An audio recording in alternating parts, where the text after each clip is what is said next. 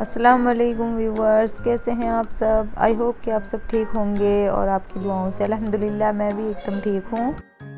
तो आज मैं शेयर करने जा रही हूँ आपके साथ ड्रेसिंग ऑर्गेनाइजेशन देखें एक दो दिन पहले ही मैंने ये ड्रेसिंग को अभी यहाँ से क्लीन किया था पेन स्टैंड के पास से और वो फिर से मैसी हो गया है। एक, एक दो दिन के अंदर ही और जब बच्चे छोटे होते हैं घर में तो चीज़ें इधर उधर हो ही जाती हैं, कितना भी चाहे आप समेट लें। तो इसलिए आज मैं पूरा ड्रेसिंग क्लीन करने वाली हूँ। सारा सामान बाहर निकाल के दोबारा से इसको ऑर्गेनाइज करने वाली हूँ। ये देखें किस तरह से बिखरा हुआ है सारा सामान। और मेरे ड्रेसिंग में काफ़ी अच्छा स्पेस है सामान को ऑर्गेनाइज़ करने के लिए।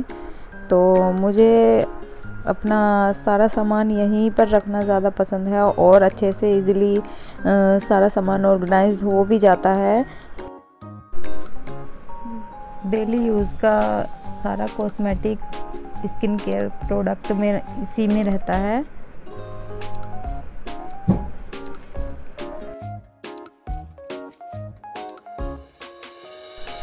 तो चलिए क्लीनिंग शुरू करते हैं। तो मैंने स्टार्ट किया है ऊपर वाली ड्रॉर से। ये सेक्शन वैसे मैंने ऊपर का साफ़ कर लिया था दो दिन पहले। अभी मैंने इसी का बेंगल वाला एरिया है, ये मेरा। इसके अलावा भी मेरे पास एक अलग से बेंगल बॉक्स है और इसमें से मैं सारा सामान बाहर निकाल लूँगी अच्छे से, उसको क्लीन कर लूँगी। और एक बेंगल का पाइप मैंने इसमें से निकाल के रखा हुआ है। ताकि मैं यहाँ पे थोड़ा सा सामान स्टोर कर सकूँ। तो ये मैंने सारा सामान क्लीन करके सेट कर दिया है। तो ये सेक्शन क्लीन करने के बाद मैं आज आ गई हूँ दूसरे साइड पर। तो यहाँ से मैं सारा सामान बाहर निकाल लूँगी।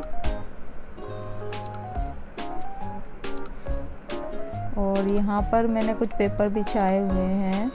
इनको भी मैं अच्छे से क्लीन करके वापस से लगा दूँगी।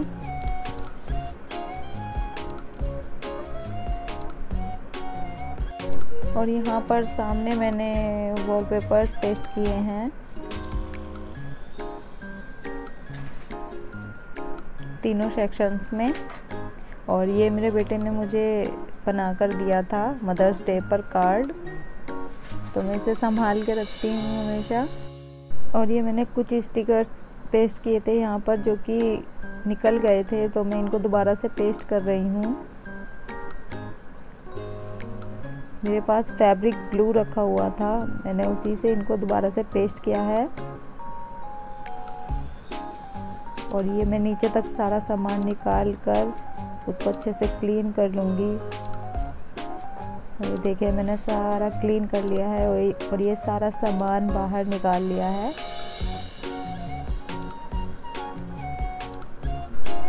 मेरा डेली यूज़ का सभी सामान इसमें अच्छे से एडजस्ट हो जाता है। अब मैंने अच्छे से क्लीन करने के बाद वापस से सेट करती जाऊँगी। ये सब मैंने अच्छे से क्लीन कर लिया है। तो अब शुरू करती हूँ मैं। ये मैंने पहले कॉलिन उसके बाद मैंने हेयर स्पा और उसके ऊपर मैंने परफ्यूम रखा है और ये जेड का टेलकम पाउडर है और जैसे कि गर्मियाँ अब आने वाली हैं तो मैं एक पाउडर और लेकर आई थी डीमार्ट से। और ये बोतल जो है छोटी सी, इसमें मैंने पे जमजम का पानी रखा हुआ है और एक मैंने फेस वॉश रखा हुआ है। और ईयरबड्स मैंने रखे हुए हैं और एक नाइट क्रीम है और टूथपिक्स हैं। तो एक शेल्फ हो गया हमारा कंप्लीट उसके बाद में मैंने ये तीन से चार बास्केट्स ली हैं छोटी छोटी सामान को अच्छे से ऑर्गेनाइज करने के लिए, ताकि सामान सारा बिखरे नहीं तो मैं उन्हें अच्छे से सेट करती जाऊँगी और बास्केट में और फिर उन्हें यहाँ पर लगाते जाऊँगी।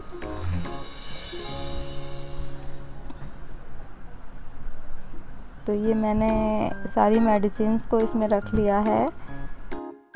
इसमें मैंने मेडिसिन ऑयल विक्स वेपरब और नोज़ ड्रॉप वगैरह इसमें मैंने रखी हुई हैं। और ये मैंने दूसरी बास्केट तैयार की है। इसमें मैंने अपनी फेशियल बैंड कुछ मेकअप ब्रशेस वगैरह रखे हैं और ये मेरा फेशियल का कुछ सामान है जो मैं अपने ही यूज़ के लिए रखती हूँ। और ये टैनिंग वगैरह के लिए स्क्रब क्रीम और फेस मास्क है जो कि मैंने अपने हस्बैंड के लिए रखा हुआ है। तो ये सेकंड वाली बास्केट मैंने रेडी की है। इसमें मैंने एक फाउंडेशन और कंडीशनर गार्नियर का मैंने इसमें रखा हुआ है। उसके बाद में मैं यहाँ पर अपने कुछ बैंड्स लगा लूँगी पोनीज वगैरह के लिए। उसके बाद मेरे पास ये कुछ हिजाब के लिए भी पिन रखी हुई थी और और उसके बाद में मेरे पास कुछ ये सेफ्टी पिन रखी हुई थी जो कि मैं इन्हें सामने ही रखती हूँ ताकि मुझे कभी यूज़ में लेनी हो तो जल्दी से मुझे मिल जाती है, मुझे ज़्यादा ढूंढना नहीं पड़ता। तो इन सभी को मैंने एक जगह इकट्ठा किया है और मैंने सोचा है कि मैं इसको एक डब्बी में अलग ही डाल देती हूँ। तो वो वाला सेक्शन भी हमारा सेकंड वाला कंप्लीट हो चुका है। तो अब आते हैं हम थर्ड सेक्शन की तरफ़।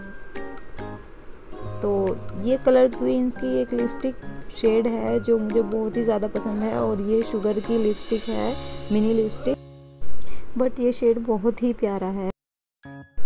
तो इस सेक्शन के लिए भी मैंने एक बास्केट रेडी की है, जिसमें मेरी सारी lipstick compact powder pen cake और सीरम मॉइस्चराइज़र वगैरह थे। और ये एक स्टैंड मैंने रेडी किया है, जिसमें लिप लाइनर्स वगैरह आईलैश कर्लर और इसमें थ्री सेक्शंस थे और इसके आगे वाले सेक्शन में मैंने हिसाब पिंस और सेफ्टी पिंस रखे हुए थे।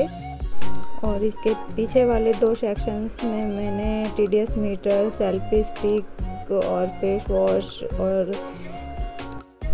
तो ये वाला सेक्शन भी हमारा कंप्लीट हो चुका है। अब आते हैं हम फोर्थ सेक्शन की तरफ़। तो उसके लिए भी मैंने एक बास्केट रेडी की है। तो ये वाली सबसे बड़ी बास्केट थी और ये वाला स्पेस भी सबसे ज़्यादा था।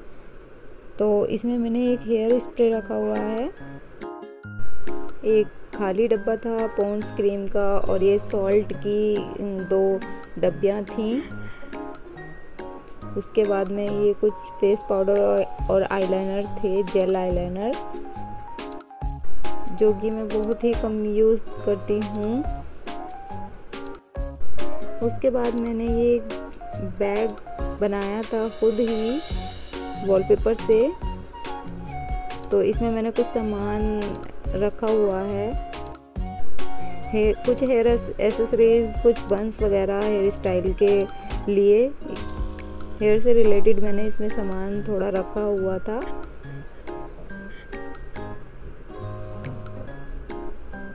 और ये बहुत ही क्यूट सा बनकर रेडी हुआ था। तो ये सेक्शन भी हमारा कंप्लीट हो चुका है।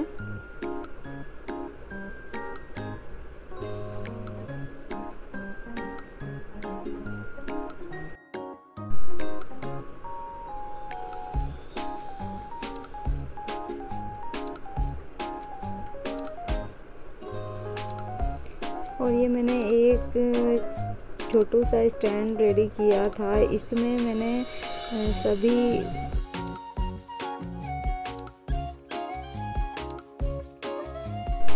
तो इसमें मैंने गिफ्ट पैकिंग के लिए सारा सामान रखा हुआ था। चीट्स रिबन वगैरह, सारी चीज़ें मैंने इसी में रखी हुई थी।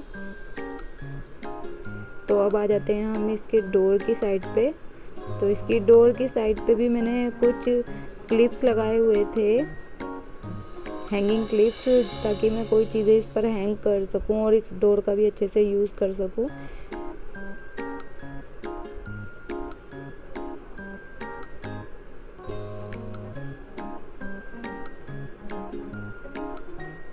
तो ये मेरा माइक है जो कि मैं एक साइड पर उधर हैंग कर रही हूँ। तो इधर मैंने सभी मास्क वॉश करके रखे हुए हैं एक्स्ट्रा में। ताकि हमें कभी यूज़ में लेना हो तो फ़ौरन से हम यहाँ से ले सकते हैं। तो ये हमारा रेडी हो गया है। और ये देखिए, एकदम कितना ऑर्गेनाइज लग रहा है और एकदम neat and clean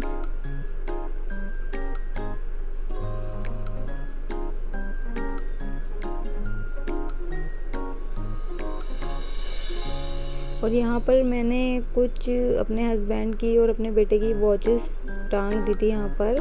watches hang कर दी थी और उसके बाद में मैंने कुछ ग्लासेस इनके वहाँ पर हैंग कर दिए थे। ताकि यहाँ से इजी हो इनको लेना। अगर आज का मेरा ये ड्रेसिंग ऑर्गेनाइजेशन वीडियो आपको पसंद आया हो तो प्लीज़ शेयर कीजिएगा लाइक कीजिएगा सब्सक्राइब करना ना भूलें। अल्लाह हाफिज़।